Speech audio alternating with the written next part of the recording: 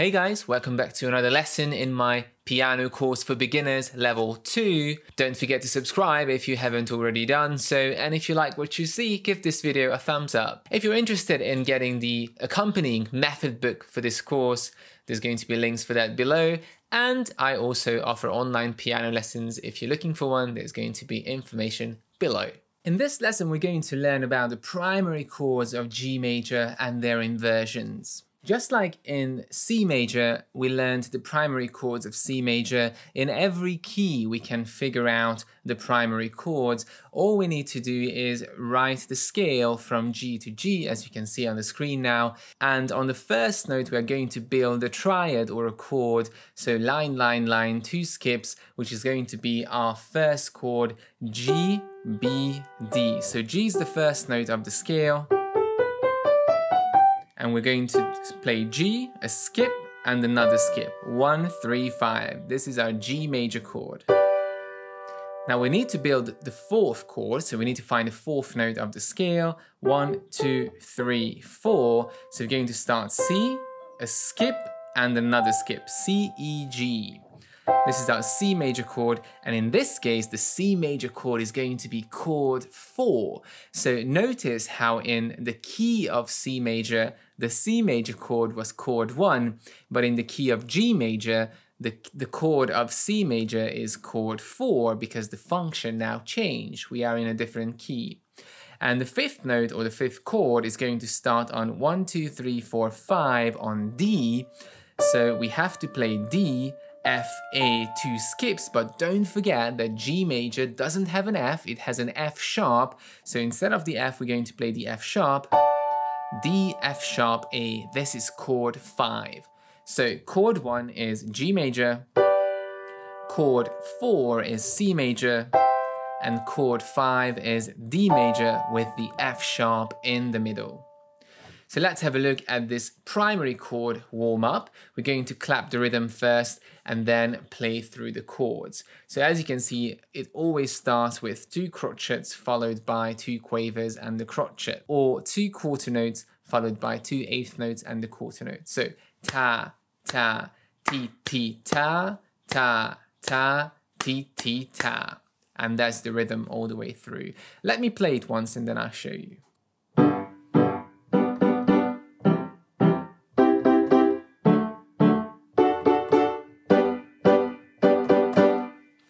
So lots of energy, and as you could hear, the chords are staccato.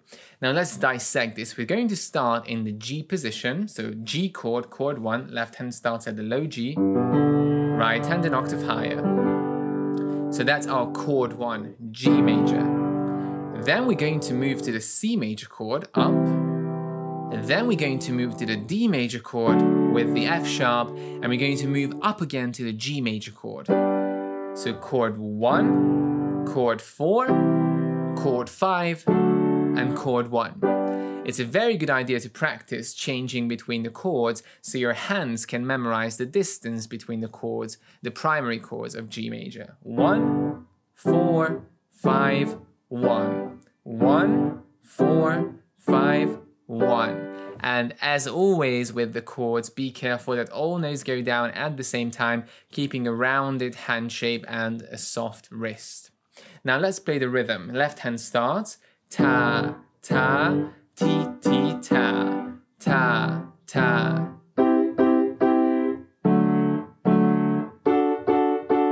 And together. Left hand starts, right hand, left, right, left, right, and then together. Now, once you can do that in a non-staccato way, let's add in the staccatos. So the, the staccato is gonna be a forearm staccato because it's a chord. So you want your entire forearm to come up and use the energy of the forearm to bounce up with the chords. So lots of energy going into these chords.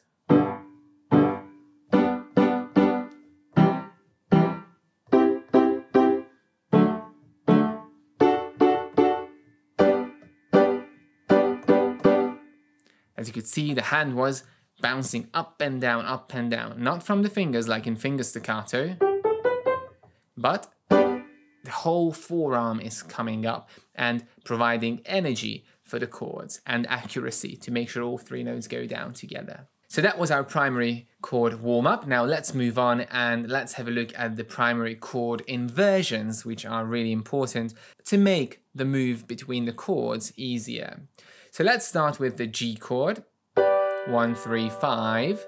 We're going to keep this the way it is, chord one.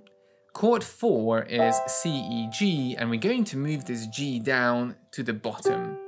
So G, C, E is going to be our inverted chord four chord 1, chord 4. So we just need to move one note up to change the chord. 1, 4.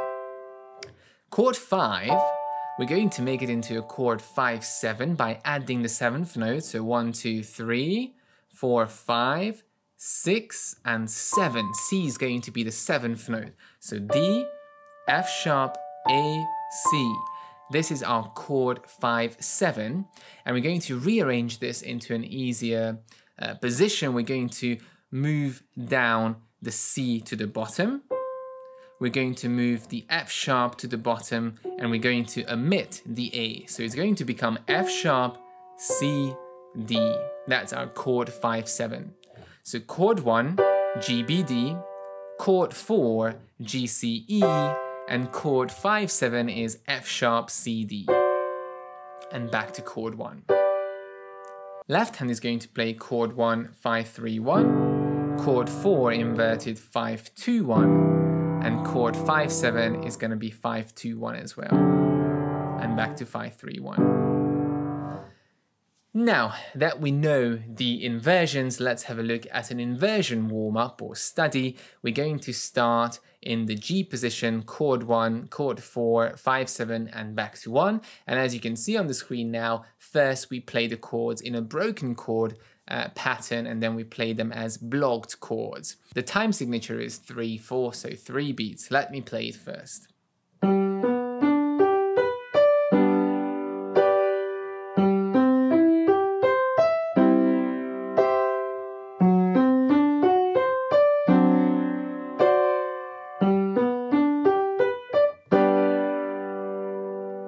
So starting with chord one, middle C, G, and an octave higher. One, two, three, one, two, three, one, two, three, one, two, three. Chord four, one, two, three, one, two, three, one, two, three, one, two, three, five, seven, F sharp, F sharp, one, two, three, one, two, three, and back to G.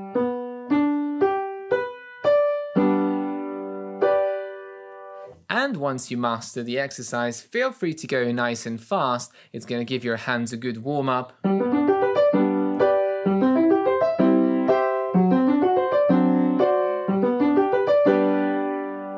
Nice clean articulation, clarity between the notes, but you can play it nice and smooth. Now that we learned all about the primary chords of G major, in the next lesson we're going to learn a piece with the primary chords of G major.